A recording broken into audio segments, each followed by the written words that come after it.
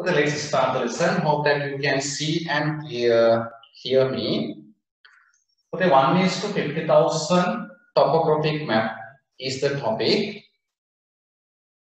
Okay, what is this one? As we learned just now, it is a scale used by the survey department and it, and it is the most famous scale. There are many other scales, but this is the most famous one. Okay, what is one? This one means one centimeter in the map. Okay. What is this 50,000? 50,000 centimeters in the land or the ground.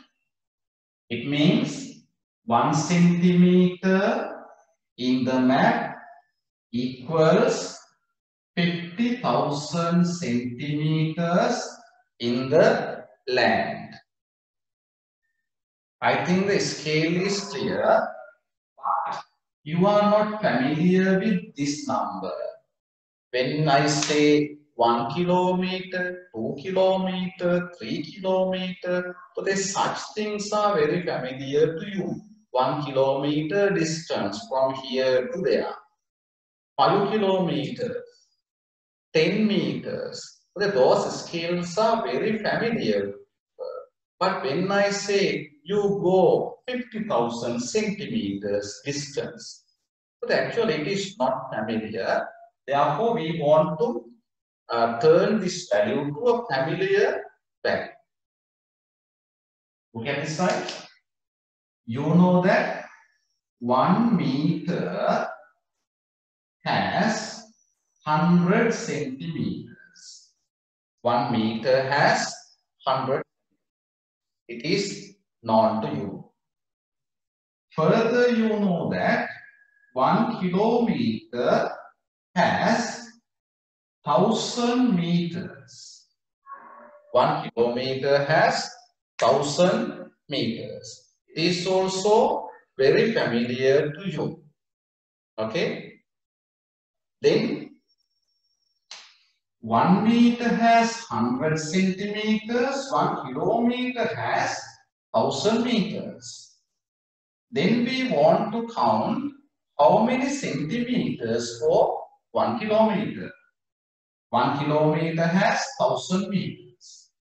1 meter has 100 centimeters when you multiply these two values together, you will get how many kilometers, how many centimeters for one kilometer. The answer is 100,000 centimeters. 100,000 centimeters. Okay.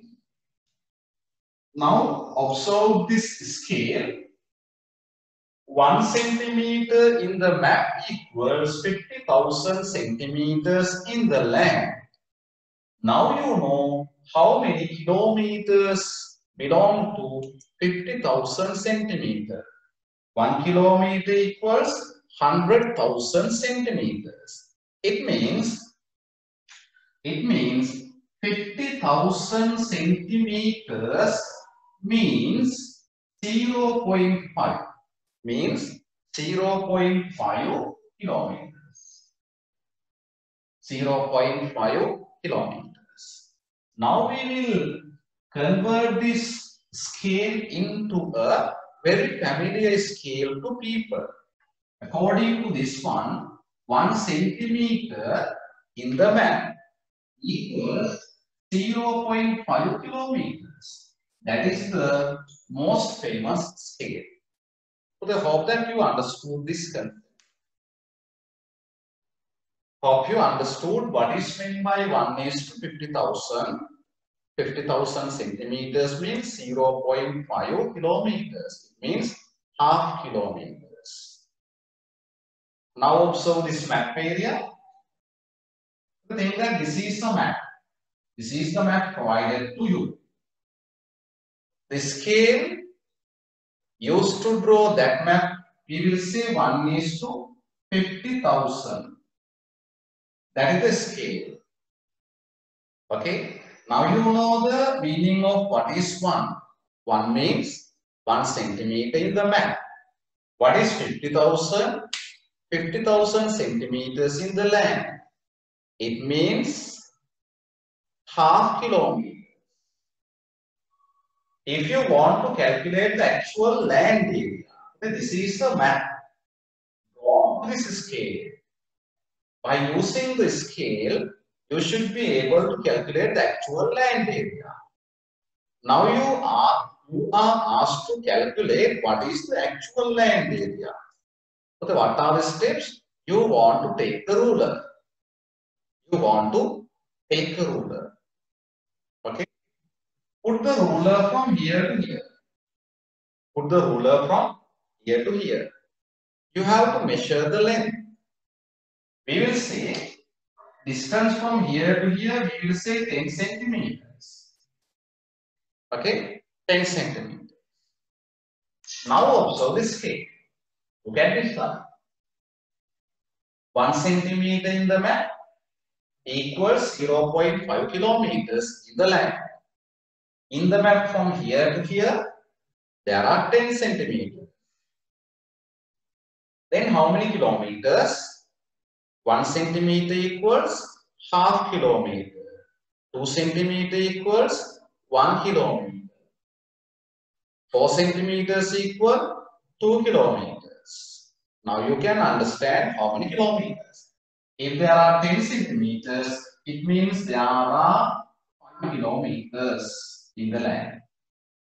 Hope that you understood that concept. Okay, wait a bit.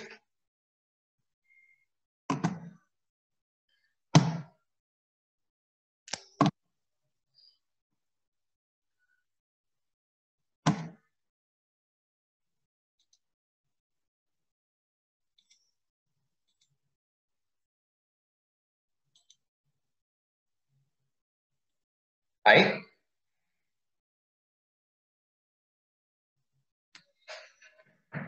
On the other side, again take the rule and measure the distance in centimeters. We will say there are 6 centimeters.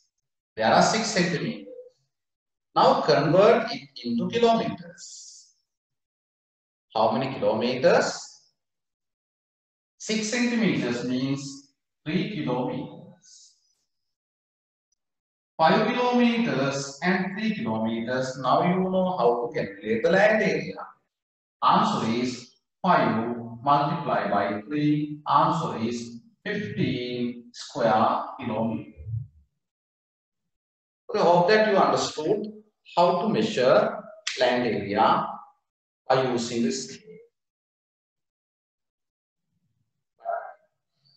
Okay, another use of this map, another use of this is scale.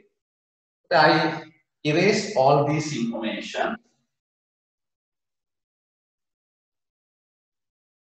I erase all these informations.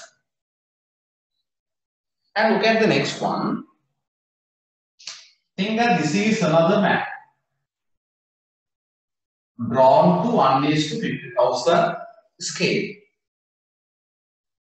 Think that there is a river flowing from here to there. Think that it is a river. උතේ calculate the distance of the river. මේ ගඟේ දුර හොයන්න කියලා Right? But now you can't use a ruler. Why? Ruler is a straight one. But this is irregular shape. Now what you want to do is you have to take a small thread. Okay. How to do that one? So they put one end of the thread here and lay the thread. they නූල තියාගෙන යනවා මෙන්න මේක දිගේ. ඒක පාට මෙහෙම තියන්න බෑ. එතකොට පුතේ නූල මෙතන නම් මේ මේ බලන්න from here to here seems to be a straight line from here to here seems to be a straight line From here to here seems to be a straight line. Here to here seems to be a straight line. Again, a straight line. ඔතන ඔහොම straight line වලට චූටි චූටි straight line එක කඩා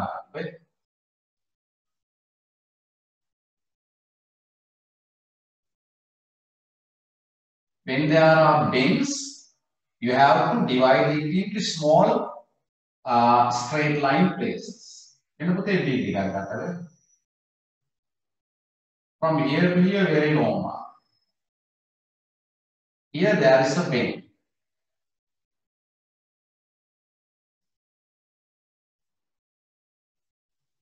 Then you can get the big one.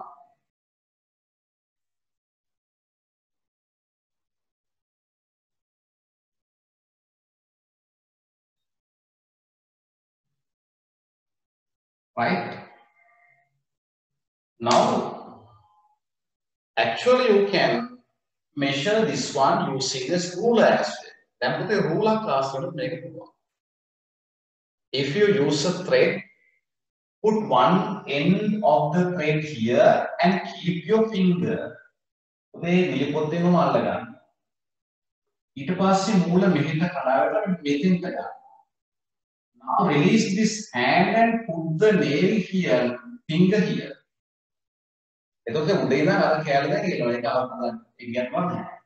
Now again put the thread from here to here and release this hand and put the finger here.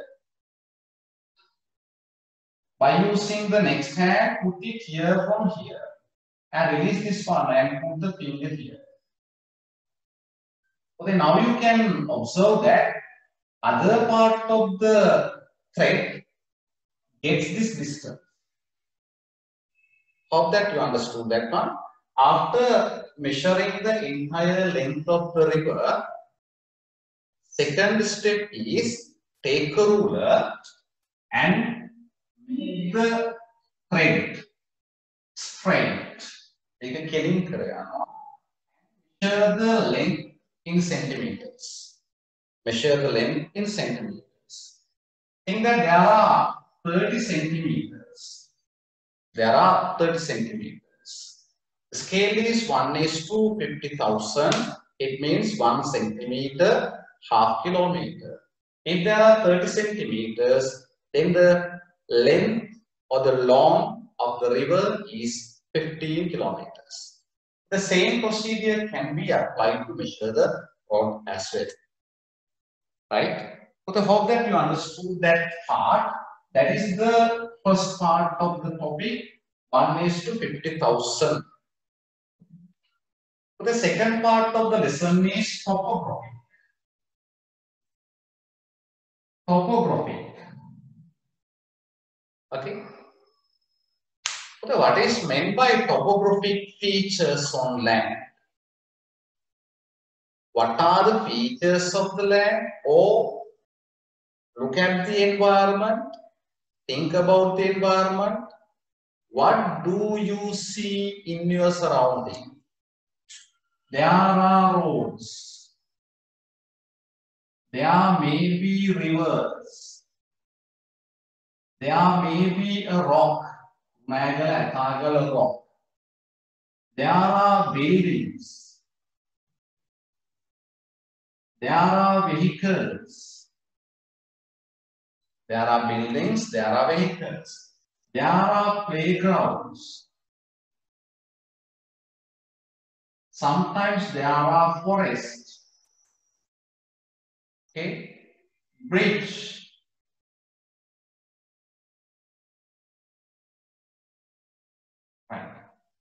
Sometimes there are animals.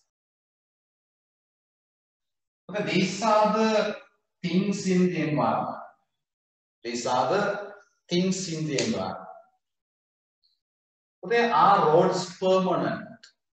Yes. When you see today, tomorrow, in the next year, the same road can be seen in the same place. It is permanent construction. Rivers, permanent constructions. Rock, mostly permanent creation. Buildings, for example, your house, buildings of the government, permanent construction. Vehicles, no, they are moving. Sometimes there is a vehicle on the road, stop by the side.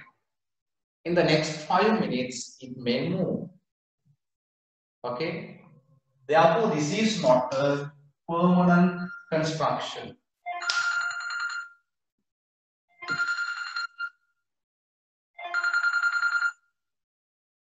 Hello?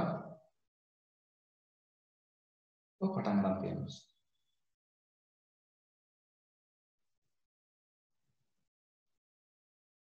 ඔව් මං group එකට දාලා දෙන්නයි නේද?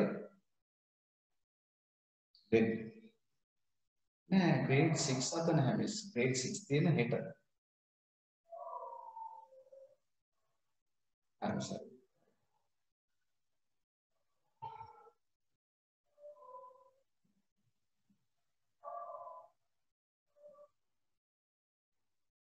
Right? The vehicles not permanent. They are moving. Playgrounds permanent. Forest permanent bridge permanent, animals no, they are moving. Okay, therefore all these movable things, not permanent things, impermanent things are not topographic features all permanent things in the environment are topographic features.